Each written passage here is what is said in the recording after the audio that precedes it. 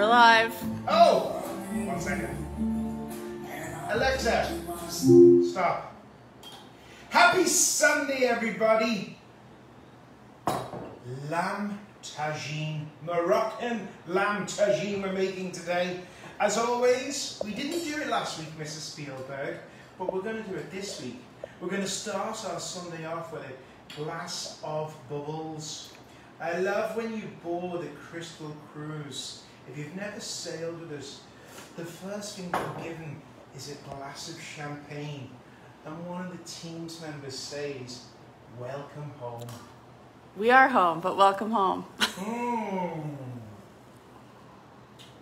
Delicious. Jacquart. It's our last bottle, Mrs. Spielberg. Uh oh, you better call uh, the liquor store. We've um, we've gone through this over the last several weeks. And what a joy it's been going through it. Um, hello. How are you? How's everybody feeling? What's everyone been cooking this week? Has anybody ever made a lamb tagine before? That's my question to you. And then Mrs. Spielberg, I can see your piece of papers over here. If you would for us, Mrs. Spielberg. Oh, you write them down? I never get to see these. Mrs. Spielberg, we have some culinary heroes, some crystal culinary heroes. Would you share them? Sure. Um, let's see. Sally Hill made the crepe Suzette and Oh. loved the recipe. She served it with some ice cream. Spot on. Uh, and made for a great dessert. So thank you very much, Sally. Sylvia Beller um, was the highlight. This is her highlight of the week. She loves the recipes and great tips, but most importantly, the virtual camaraderie and humor. It. Uh, Patricia Gleason Morris can't hardly wait until Sunday to see your presentation. And Cynthia Hyde, she also loves the vi- virtual camaraderie. She loves Chef Jon, Mrs. Spielberg, the recipes. She's made the butternut squash panini last, panini last night, which was superb, and made the Portuguese chicken and potato salad. Wonderful. Um, so that was great. And let's see, Deborah Casper. Can't wait to try these recipes. Love the Facebook Live segments, Jon and Mrs. Spielberg. Thanks, Mom. Just knew I had to have this at Judy Mosk. And was with the picture of the cookbook. in Oh, nice. Garden, and you had uh, the seahorses uh, on on on um, on your shirt, and then beautiful trees and well. Yeah, that was really oh, pretty. Garden, gorgeous photo. um, and then Doug Rutkowski, Chef Jon. I have a clay tagine. How would it be cooked in that? I'm sure you'll get to that during the segment. And then Elizabeth King. She said that the crab cake has been a consistent winner. So thank you guys. So the, just to, uh, this is your first time um, tuning in. Uh, we also do put it on YouTube as well next week, uh, in the week I believe. Um, there's lots of recipes. We've been making recipes since March. And we try and we test all the recipes out beforehand. When you watch the videos, I try to show you where you can go wrong or where a variable heat may change it, etc. Uh, oh, the champagne by Jove. Countdown, ladies. You say that, talk a little louder. Louder? Absolutely, that's my favourite thing. They can hear me. Across 10 miles from Morocco, you have, um, what's the island there? Gibraltar. Gibraltar. You can hear me from Gibraltar. Hello! Uh, it's a wonderful passage from uh, Gibraltar to Morocco, 10 miles away.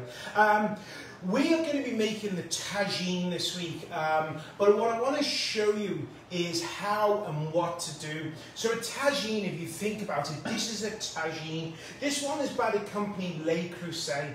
If you was to invest in one, I would say invest in one of these. However, I am going to say this, you don't need one.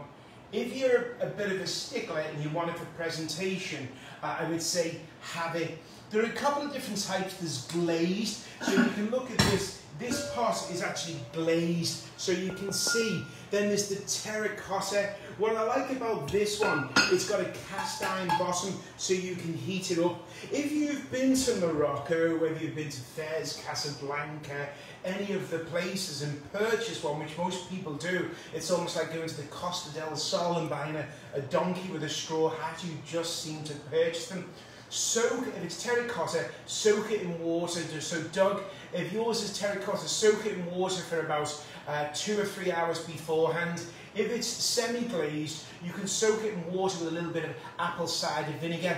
And you're going to want to use a diffuser. So between the heat and the flame or the electric, a diffuser. You can look online what a diffuser is because otherwise you may be uh, subject to hairline cracks. No matter even if you're using a diffuser with a tagine pot, always bring the heat up gently and never put the likes of the clay in cold water or a pipe and not from the fridge into a hot oven. That will cause hairline cracks in there. So when I tested a tagine, the reason why we like tagines is the steam comes up and it hits the top and it's designed for it to come back down and keep everything juicy. Uh, a tip, if you have got a tagine, put an ice cube on the top and what that ice cube does, when, when, the, when the water comes up, it actually helps it drop down. So a little bit of cold water or ice cube. So this is going to be cool, but you don't really need it. When we look at a Dutch oven and we look at a tagine, we're looking for evaporation of water. So a Dutch oven, you're going to lose about 9 to 14% water, but we're going to stop some of that by using a piece of foil. The taste will be no different whatsoever. Absolutely no different, I guarantee. So it's up to you whether this is worth real estate in your home. If you've got a big kitchen and you can put this in a cupboard, then I'd say happy days if you are going to use it. If you was to ask me, would I purchase one? I would say no. I would use a Dutch oven because there's too much real estate in the studio. Sound good? Sounds good. Okay. I just have to get on my little uh, culinary soapbox for a moment. Um, you know, I think sometimes when you see uh, a lot of ingredients, people get scared, but please don't worry about it. It's just an extra couple of things, and the reason why I put things in is because they do belong in there. Let's get the couscous started because I know a lot of people struggle with couscous, so I want to quickly show you how to make a couscous at home. So I've got the pan on. Uh, I'm going to put this I'm going to turn off the air because everyone's saying that there's residual sound. Is it the air? Is that better now? Is that better, guys? Hopefully. Hopefully that's better. We got the air on. Do you remember that one show we did and we were sweating? Well, it might be repeated. We did one show before the air was working and I couldn't even move. Okay, I've got the pan on, medium high, some butter. I'm adding some butter to the pan and this butter, as always, we use unsalted butter and the reason why we use unsalted butter because different manufacturers have different amounts of salt in them. So in order to get consistency, we add the salt ourselves. So couscous, if you think about it, it's semolina and it's very fine. You see how fine it is? And they actually say before there was ever pasta, this was actually the inspiration for pasta with the semolina. Um, I know a lot of people say the Chinese inspired pasta, but I actually believe that it first came from the semolina. Okay, so what we're going to do is the butter's in there, Mrs. Spielberg. I'm going to add some minced garlic. Please don't use the stuff from a jar. The stuff from a jar is drastic.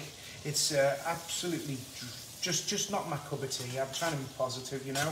Now I can smell the garlic already. Can you smell Yeah, it that? smells delicious. And then I'm going to add the couscous. And what we're going to do here is we're going to coat all the grains. from- Could you use quinoa? uh, feel free to use quinoa. You could use some barley as well. If you like barley, feel free to use barley in there. So what we're doing is going to coat these grains, Mrs. Spielberg. We're just coating them nicely uh, with the grains. The butter's in there, and the butter gives it a nice nutty taste.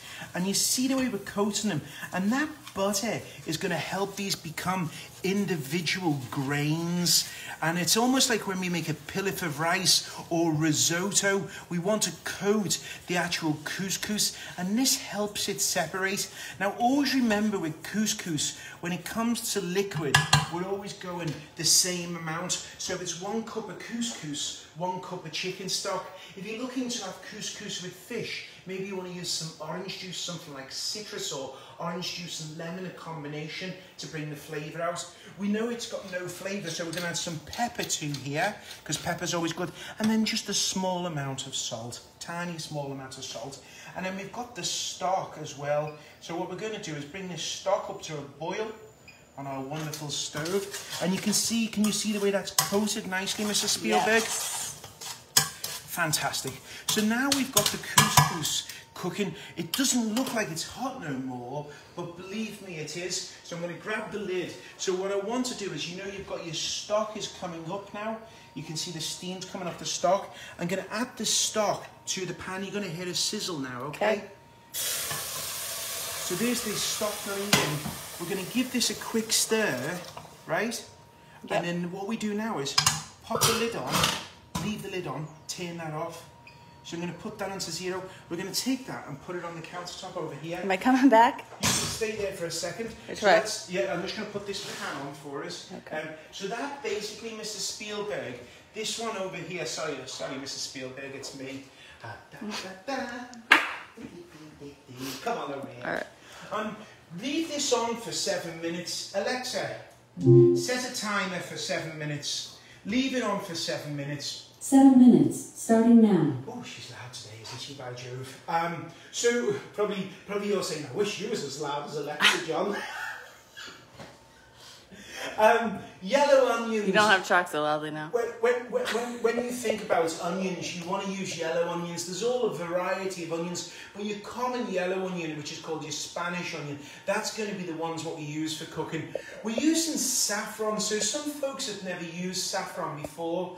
So, go on. Was the broth hot when The broth was hot, yeah. So the broth we had, we, remember we had the broth in the pan heating up, so that was nice and hot. Okay. So let's think about it. Saffron. Saffron is from the crocus plant. Uh, the crocus plant. You get three pieces. So if you take a look here, you'll get three of the stigmas a plant. That's the female of the actual flower. The female stigma. And if you think about it, it's very expensive, but you want to buy good quality. Iranian or um, Afghanistan's got some beautiful, I think, fabulous um, saffron as well. Um, and you, if you look at it, it's going to take 170,000 plants to make one pound of actual saffron. So let's take a look. We've taken the saffron and we've let this come in the water and bloom, and you can see these nice. You see, can you see them? They're nice and long. And when you look for saffron, make sure they're all red. There's a lot of places where you'll see them and they're actually yellow and red, and that's usually not a good sign. When you're looking for them, you want them mostly red. So What's the shelf life on them? Um, I usually put these, these will last quite a, quite a while, as long as it's not, with all spices, never have them over the stove and over the heat. Always keep them away. I, I have a spice drawer when I keep them. Um, and saffron's wonderful in tea, saffron's wonderful in sauces, which we'll talk about a bit later on. We've got some um, marinara sauce, which you wouldn't usually use in, in Moroccan cooking. You use tomatoes. Some olives is going to cook, that's going to be some saltiness. And then for the fruits, we've got some uh, golden raisins, some apricots, and some prunes. And please don't be put off. You know, the English back, if you look at the history of British food, we used to cook with a lot of fruits and then we just stopped. And then the carrots we've cut into large pieces. They're big pieces because they're going to be cooking for an hour and a half to two hours. So we don't want them to go to mush. Some cilantro, and then we're going to take some lemon zest. And as always, we use a peeler for lemon zest. This is the easiest way to get it off. About four pieces. In over in Morocco, they use a lot of preserved lemon, um, but I didn't want to go that far for us. I wanted something that was going to be close, but I didn't want you having to make a preserved lemons, which is going to take about a, at least a month to make at home. Okay, so let's go over to the stove, Mrs. Spielberg. Anyone got any questions before we start about the ingredients? You could use pearl couscous, right? Pardon? You could use pearl Uh, couscous. pearl couscous is going to be a little bit bigger, yes, but that might take a little bit more stock if he was going to do that. I'd probably blanch the couscous. I would blanch it off, and then I would, uh, from the blanching, then I would do that. So, um, what we're going to do, Mrs. Spielberg, is I'm going to turn that oven on if that's okay with you. Yep. Um, what we're going to do, I'm just going to step in here, is the meat. I've already started to brown the meat. I browned this off this morning, but I just want to show you. There are two ways to brown meat. There's in the pan, which is the traditional way. the traditional way of doing it. Bring it, you salt your meat a couple of hours before, then dry it. You want to dry it because otherwise you end up not browning it and it ends up steaming in the pan. So always make sure just before actually going, and this is with fish, any protein, make sure it's dry beforehand, okay? And this has come up to room temperature. And we have a, uh, this is actually from a leg of lamb.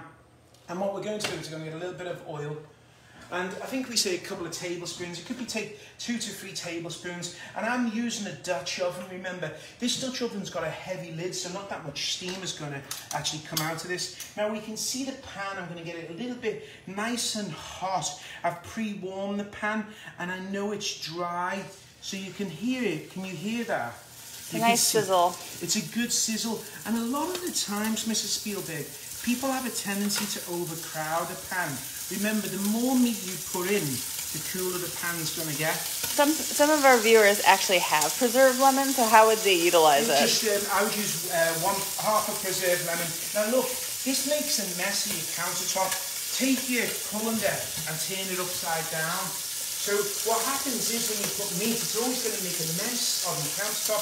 By taking your colander turning it upside down, it catches all of those things. So you see they can't get out now at the moment. You see that? Yep. So some people have a splat screen, but this works the same way if you don't have one. I'm going to have to put the fan on a little bit because otherwise it will, be, uh, it will look like a, one of those 1980s MTV uh, songs, you know, I'll be like that. Take on me. How long do Meyer lemons um, can they be stored in the fridge? Um, my lemons could be, they'll, they'll go in the fridge for, are they in preserved or just lemons Preserved. in general? Uh, put it in your drawer, they should last, they should last at least three weeks. If it's a Meyer lemon, just a Meyer lemon in general, but it's not preserved. But, you know, you can take, I'm browning, you can see it's getting a nice little bit of colour on there. So, if you're scared of browning, one of the things you can do, dry your meat on an oven tray, put your oven up to 425, then put, it, put your uh, shell close to the broiler. Coat your meat with oil under the broiler for about 8 to 10 minutes. That's going to give it a nice brown. So that's another way to brown your meat instead of browning it on the countertop. So there's always a couple of ways to do things. You don't get the bond on the bottom of the pan, what we look for when we're cooking is to get that nice bond on the bottom of the pan. So you can see I'm covering this. Now these pieces of meat are just I'm just going to place them over here. We've got some colour on them. It's smelling great. Already I can smell the lamb. This same recipe can be done with beef. So that was a question that just came up. Yeah, so the same recipe, if you don't like lamb, feel free to do it with beef. The same recipe, oh, by the way, as well, could be done with some chicken thighs. Chicken thighs would only take about uh, probably an hour to cook uh, in, in, the, in the actual liquid. So the pan's nice and hot. We're browning Alexa, stop. Stop. The meat's browning. The meat's got a nice, get a nice colour on the on the meat now, Mrs. Spielberg. We've got some chicken stock which we've warmed up. So the chicken stock's hot. We can see that, you know, everything's all coming together nicely as you see this. I've got everything I need to cook right in front of me. I feel confident. I feel good. The only thing I haven't got is some champagne. um, did anybody see Friday Night Show at the Galaxy? If you just tune in into this show on a Friday night, we have uh, the Galaxy Live, and it was brilliant. I want to say cheers to Keith and Scott for such a wonderful show. I loved it when the girls sang Jolene. Brilliant. What a wonderful show. If you have a chance after this show, go along and watch it. Brilliant show. I love sitting in the palm court here. Yeah. And you just get to have a nice cocktail before dinner and listen to the duos playing. Oh, God. Okay, so why are we browning? Browning is called a Maillard reaction. Go on, Mr. Spielberg. Would you use beef stock if you're going to make it with beef instead of Uh, lamb? you could feel free to use beef stock, yes. Um, I'm not going to use lamb stock. Um, I took the bone out and I didn't use lamb stock because it would be a little bit gamey for my American audience. If I was over in Britain or I was uh, in Morocco, I would use lamb stock. What cuts of beef would work best for it? Uh, I would use some chuck, some pieces of chuck for this one. Uh, chuck would work perfect for it. And um, Mary and Heath think that the colander hit, uh, is a great hit. It's like a great tip to. Oh, thanks, yeah. You know, I just want to say thanks so much to everybody for all the kind words. You take time and you, you post such beautiful, um, kind words, and you know, it's really touching and it's. It's been, a, it's been a challenging time for everybody because we're not on the ocean together, and that's just sad, you know, because if you've never sailed with Crystal before, and I'm not just saying this, I, am not like that. You actually, it's a family. You know, when you go on board, you get to know the guests and you care about them. And Keith, for instance, he's an amazing soul, and I can't wait to meet Doug and have a shot with him. You know, I'll say, can I have two sausages at the bar? He and Gary were waiting for you to say sausages. Gary. Uh, oh, Gary, this is the other Gary. Yeah. Sorry, I meant Gary. Hunter. Oh. Okay, so what we're going to do is add the onions.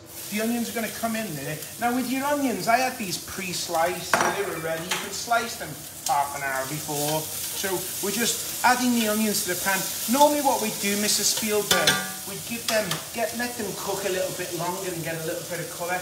Obviously for the show, you know, it's always the hardest thing on time, you know, with it. But I do want to get this on the go for us. So we've got the carrots and the, sorry, we've got the saffron. See that beautiful saffron? I want you to see that. And you know, over in um, Afghanistan, and, and when the, when the Iranians cook it, they actually soak it the night before. Uh, or some of them will actually grind it in a mortar and pestle.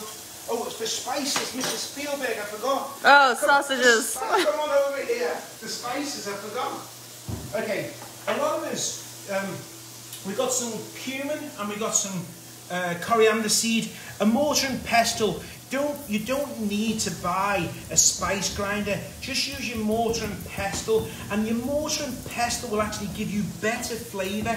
The oils come out better in a mortar and pestle than what they actually do in a spice grinder. I have a spice grinder, believe me. I've Oh, we have one. Yeah, but I don't use it. I always use this. If you're in a restaurant, then a spice grinder is the way to go. But at home, I just freshly grind your spices. Okay, so now we've got those ground. That's perfect. They'll just dissolve into it. And we're using turmeric. Um, turmeric, just be careful in your food processor with turmeric. I think next week we're using turmeric. Um, but just be careful depending on your uh, food processor because it can stain depending on the brand. Okay, at this stage, spices go in. Turmeric, the cumin, which is the most popular spice in Moroccan cooking.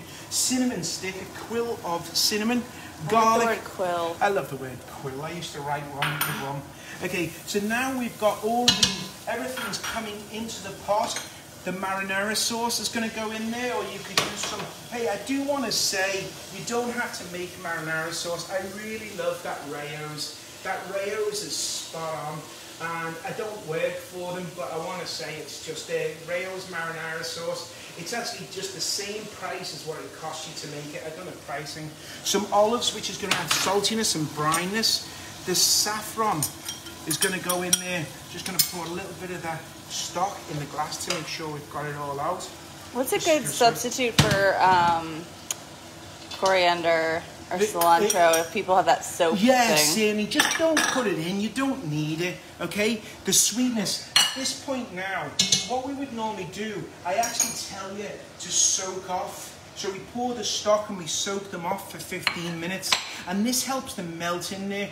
If you like all of these fruits and vegetables, you could add them, take them out and add, uh, sorry, all these fruits, you could add them for the last half an hour, but I like them to melt into the tagine. It adds sweetness. So now we've got all of this stock in there. I'm just gonna add a little tiny bit more.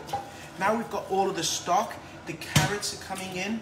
So we're adding everything. Half of the cilantro is going to come in here, Mrs. Spielberg. And, And once if you don't like cilantro, don't use it. don't use it, just don't use it. You don't need to replace it. Sometimes you don't. It just adds a small, subtle nose. And the lamb that we browned, I remember I browned this off earlier on for you. And then what we're going to do is just roll it in there, the lamb. And then I've got about, I've got twice as much lamb as what the recipe calls. We, we're going to be having a soiree this afternoon.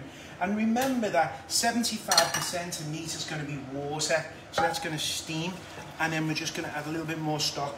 About, that's more than enough because once the water starts to release from there, Mrs. Spielberg, you'll see that that will cook down. At this stage now, we're going to place the lid on it. This is going to go into the oven. So we'll let that go into the oven. I'm just going to drag this out. Let me get this. So here we go. I'm going to go this way so you don't get to see me bending over. It'll be nothing worse, would there? And I'm going to pop this in the oven. Now, depending on the size of your lamb, this is going to take oh, sausages. this pan's bigger. Jimmy This is supposed to be a cooking show. Oh, Oh, we turn, we turn the air conditioning off, Mrs. Spielberg. We're hot. It's really hot. Oh, We've sacrificed sound for our Whoa. own well-being. I'm wearing jeans. Jimmy Cricket. Oh, gosh. I need more champagne. I don't know if I can bend down. the hot oven's coming on Yeah, oh, you're definitely sweating. Oh, sausages, be careful bending down. oh, put that in the oven. Oh, I need a slip. Oh, I, I, I need one too, except I'm trying to hold the camera. Mm. Oh, gosh, that's so good. Okay, at this stage now, we bring this out the oven. We just bring this up to a little boil. Let's go and check, Mrs. Spielberg, on our um, on our couscous. Whew. Whew. okay, so the couscous came out. So take a look at the couscous. I'm going to get a fork for you. So remember what we did with the couscous, and you can see it's nice and fluffy. Can you see that? It's perfectly cooked, okay? Very fluffy. Very fluffy, and it's, it's wonderful. At this stage, we're going to add, you don't have to, we're going to add some craisins. Feel free if you wanted to at home, we're going to add some nuts. Feel free, for you at home, you could have as much fun as you want. You go where you want to go. And then what I find, just to take a little bit of that edge off the actual couscous, off, off the, uh, the dryness of it, a little bit of oil, and then a small amount of lemon, just to give it a citrus bump. Just a small amount, Mrs. Spielberg. All right. And give that a stir. And I've got a few more craisins here. And that could be apricots, that could be raisins, that could be anything. Um, couscous the next day, when you sit it in the fridge, it always has a tendency to dry out. So if you've got any left, just make a little vinaigrette little bit of oil, a little bit of vinegar or lemon, and then some sliced cherry tomatoes would be wonderful in there. So there you have your couscous, and that's how easy it is. Just look at those grains as I show you. They've all got their own individual personality. Each one is a, an individual character. It's not sticky at all, and it looks fabulous, and it, it really is effortless to make once you know the process now. And you can, the world is your lobster. Lemon or lemon zest? Uh, lemon zest, or you, if you want to, you could add some lemon zest to it. I just added a little bit of lemon juice to it, just to give it a little bit to cut the fat of the lamb. Um, but for, are you drinking champagne? I am. Okay, it's hot. just take a little peek for a second. Okay, so what I'm going to do is I'm going to bring this over the lamb and we'll take a little peek at what we've made today. Does that sound good? I'm going to come over here to you. So I hope, you know, as you watch the show today, you realise you don't need a tagine to make Moroccan food. If you've got one, happy days, feel free. It looks nice on the table and it's great, but you don't need it. We let that cook for two hours and when it comes out, are you ready for this? What's the reveal? Ready? Yep. Uh, one. Ah, gorgeous. And that is um, that's how we can see this beautiful tagine. And let's take a look at the carrots. And let's take a look at some things in here. We can see that if we take one of the presentations we'll often see, Mrs. Spielberg, I'm just going to my spice drawer. Not the spice drawer. this is the spice drawer. I just want to show you something.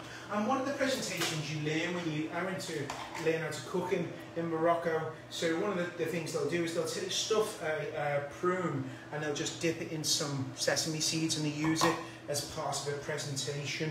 So as we look in here, so let's take a look at a carrot because I'm sure those carrots look really big to you. So you can see that the carrot's nice and tender, you know. The cinnamon stick, we no longer need this, But you can see as we look at the meat, just look how, just take a look how tender that meat is, Mrs. Spielberg. As And what's on the prunes? What, just just sesame seeds? seeds. But I'm going to grab a piece. It's hot, but I'll do it for you. Just look how tender that lamb is. Can you see that? You are really suffering for It's your art, as just- Annabelle was saying. It's, it's, it really is. I do have food for you. It's blissfully tender. It's unctuously delicious. Alexa, stop. And you can just see. And then feel free. We've got the Alexa, stop. You can see that everything's cooked so nicely. There's some lemons on there. You don't need to put them in there, but everything's just so tender. Let me just show you one of those pieces of meat again. Just look how it's perfectly cooked and tender. Now remember, if your meat's, uh, if you've got a, uh, a, smaller cut of meat, be sure to check it. Just don't go on my time. Be feel free to check it a few times. Do you stir it at all during the process? I do stir it a few times during the process. And did you sort of stage it like this so it looked pretty? I staged it to look pretty because that's what we do at Crystal Cruises. we always make things look beautiful for our so guests. So nice. Um, we've got the couscous. We've got this. Tonight we're having some friends over. We have a, a bocce course here in uh, Martha's Vineyard. So some friends, our dear friends, are coming over. So we're going to be hosting. We're having a Moroccan meal tonight. Some almonds just before serving. Don't put them on too far ahead. Remember, this can be made a couple of days ahead of time and just reheated gently. Don't heat it up too fast. Um, so I'll tell you what we're having for our Moroccan feast tonight. Let me pull a couple of these off. We're having some Moroccan flatbreads, which is traditional. We're having some stuffed peppers. So we've taken some peppers and we've stuffed them with uh, classical. We've stuffed them with some um, raisins, onions, mushrooms, and allspice we've used in there. I've made some quick pickles. So we took some um, one on one of the shows. We'll show you how to pickle things. Uh, the saffron we've made a saffron aioli. You can see that beautiful yellow colour. Mrs. Spielberg made a beautiful cardamom and apple cake. And then we've got a yogurt and saffron sauce. And then we've got some potatoes that were braised in turmeric with a roasted tomato spiced sauce. So this makes for an absolutely delicious Moroccan themed dinner. Hopefully, fingers crossed, me and Mrs. Spielberg will win a bocce. We built a bocce court, we've had lots of people over here, and we've only ever won one game. so I'm hoping tonight we can do that. Does anyone have any questions before we leave? I know that everyone was wondering what we're making next week. Next week is exciting. Next week we're going to go. If you've ever sailed on a crystal cruise to Malaysia, Singapore, or Indonesia, you may have had a rendang. So the cooking process next week we're going to be showing you. Whereas we slowly cook the meat in the oven today, next week we're going on the countertop. So each week we try to do a different cooking process to teach you. As you, if you went to culinary school, you would get a different process. So we're going to actually teach you to slowly cook.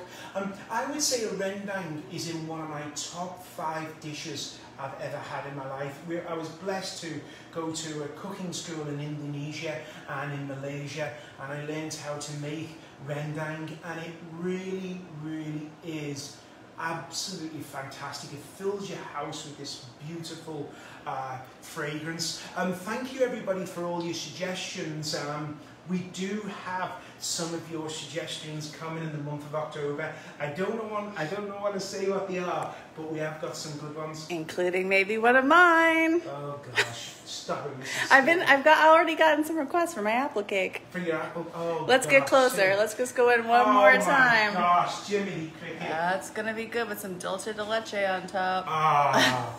Hey, I hope this week that the CDC says that um, cruise lines can go back onto the ocean, so I'm really excited. I miss seeing all my team members, I miss all my culinary team, and I miss our entertainment departments, just seeing everybody. And most of all, I miss you. I miss you, the guests. I miss going out to ashore with you, going around, uh, talking about food, having meals together, making memories and laughing. But it won't be long before we will be back together. For now, you get, we get to spend time every Sunday with you. Thank you for tuning in. Have a lovely week. Always remember, it feels better to be positive than negative.